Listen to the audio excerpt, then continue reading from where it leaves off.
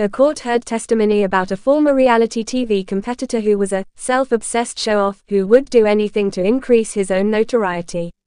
Stephen Bear is charged with recording and posting a private video of himself having sex with Georgia Harrison online.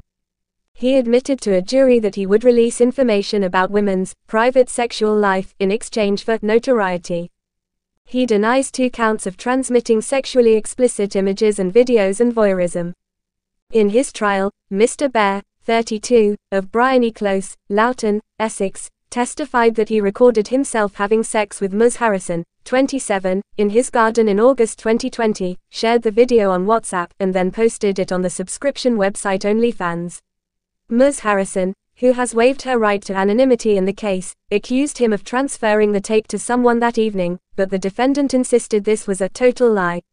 He said he had deleted the video and denied uploading the clip.